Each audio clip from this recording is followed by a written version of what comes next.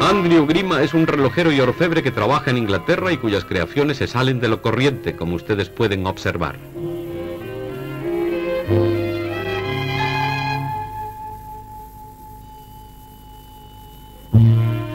Tampoco sus precios son nada corrientes. Por ejemplo, esta monería en forma de brazalete se pone en las 850.000 pesetas al riguroso contado, porque Andrew Grima no vende a plazos. Y estos otros relojes con pedrería fina y diamantes suben un poquito más, andan rondando el millón y medio de pesetas. Claro es que Andrew Grima tiene en su haber un nutrido palmarés de premios y galardones, entre otros el Diamond International concedido por el Duque de Edimburgo al más elegante diseño y otro otorgado por la reina y relacionado con la exportación.